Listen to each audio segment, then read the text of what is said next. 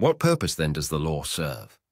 It was added because of transgressions, till the seed should come to whom the promise was made, and it was appointed through angels by the hand of a mediator. Now a mediator does not mediate for one only, but God is one. Galatians 3:19 and 20. Mediation is at the heart of the plan of God.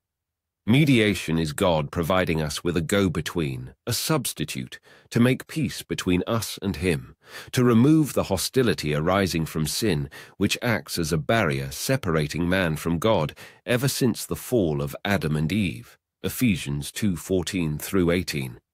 We human beings are hopeless and helpless, thrice dead, possessing a sin nature from birth, sinning ever thereafter, and mortal bound for the lake of fire absent miraculous divine intervention. From birth, we were all thus in desperate need of a deliverance only God could provide. Nothing we could ever do, no human works, would ever be sufficient to mollify God's wrath for our sins and sinfulness.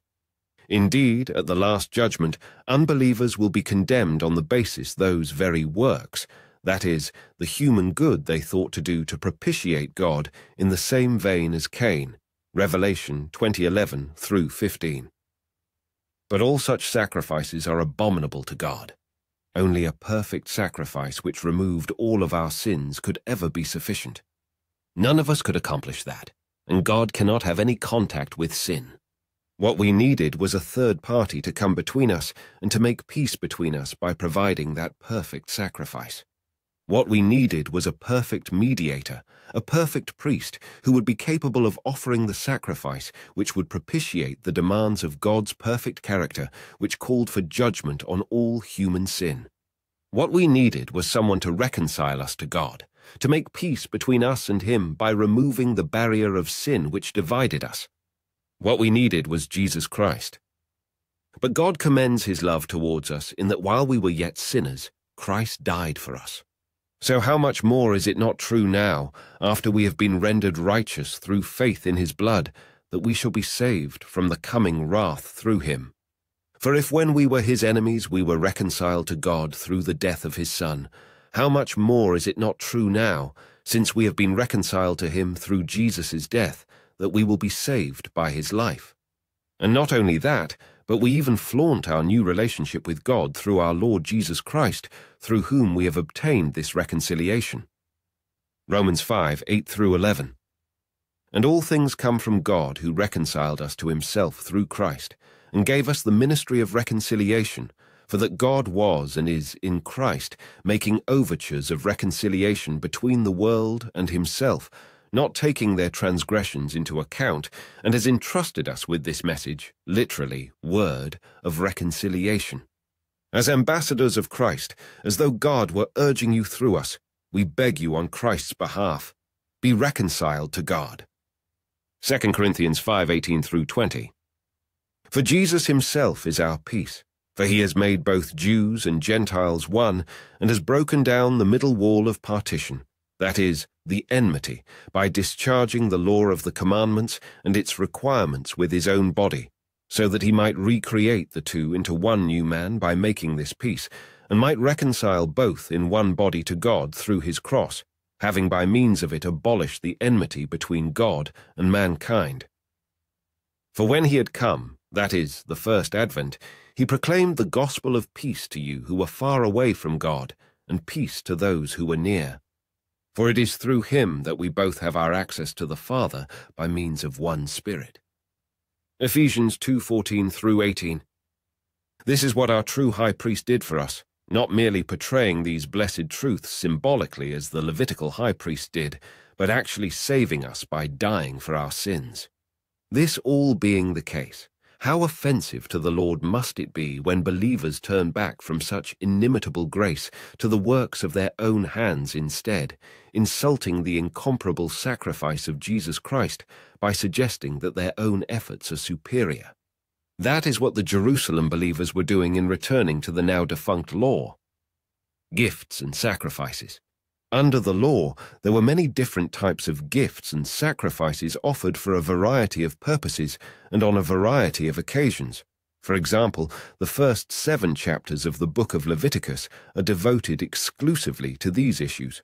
although this is by far not the only place in the Pentateuch or the rest of the Old and New Testaments where these matters are discussed. The law, properly understood, is entirely symbolic of heavenly things, as Paul will point out later on in Hebrews. For if Jesus were on earth, he would not be a priest, since there are priests who offer the gifts according to the law, who serve the copy and shadow of the heavenly things, as Moses was divinely instructed when he was about to make the tabernacle. For he said, See that you make all things according to the pattern shown you on the mountain. Exodus 25:40.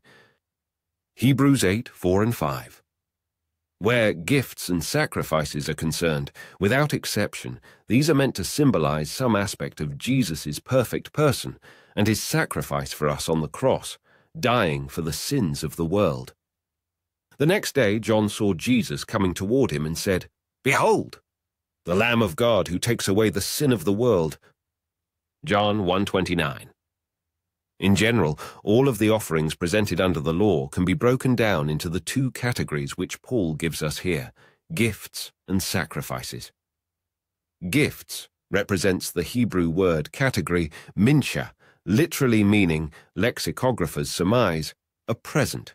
A minchah, broadly speaking, refers to anything given which was then intended to be used or consumed mainly by the priests, and it usually meant offerings of grain. Leviticus 2, 1 through 16 and 6:14 through 23. Sacrifices, on the other hand, represents the Hebrew word category korban, literally meaning something brought near, that is, to the altar for sacrifice. In essence, a korban refers to anything dedicated to the Lord and marked for death by sacrifice. Leviticus 1, 2 through 17 and 3, 1 through 613. Of course, the above simplifies the particulars greatly. The precise procedures to be followed in all of these offerings was and remains a matter of great interest to students of the law. 11. The point that we need to keep in mind here, and in all the discussions of particulars of the law coming up later in Hebrews, is the one made above. Every single aspect of the law was symbolic, and in one way or another was meant to reference Jesus Christ, his perfect person, and his efficacious sacrifice for us. 12. This symbolism may be seen with great clarity in the very first sacrifice established by the law, namely, the Passover, Exodus 12. 1 through 29, Numbers 9, 1 through 14. Deuteronomy 16, 1 through 8, and Ezekiel 45, 21 through 25. Then they shall eat the flesh of the lamb on that night, roasted in fire, with unleavened bread, and with bitter herbs they shall eat it. Exodus 12:8. Passover, as we have seen in the past, is the precursor of our communion, where the elements are different today, bread and wine which require no blood sacrifice or elaborate preparation, but still symbolically represented faith in the person and the work of Christ, for example, John 129 and 136. Today, drinking the wine represents our faith in the sacrifice of Jesus Christ, the blood of Christ, that is, which covers our sins, coming from our substitute who died for us, while eating the bread represents our faith in his perfect person, the sinless God-man who was fit and acceptable to be our substitute and to bear the sins of the world. In both cases, eating and drinking represent our acceptance by non-meritorious faith of these eternal truths of the gospel. That is, there is nothing meritorious about eating and drinking, but these actions do represent acceptance and taking in of what is offered to us. On the other hand, participating in rituals without understanding is worse than not participating at all, and worst of all is participating in rituals whose symbolism runs contrary to the truth we profess to believe. Jesus had already died for their sins, so that going back to the Jewish rituals which proclaimed a Saviour yet to come, as opposed to communion which represents his work for us already completed, was a terrible scandal in the true etymological sense of the word a stumbling block to others who might be led into participation in this hypocrisy. Compare 1 Corinthians 8. 10. For as often as you eat this bread and drink this cup, you proclaim the Lord's death, already accomplished, till he comes. 1 Corinthians 11.26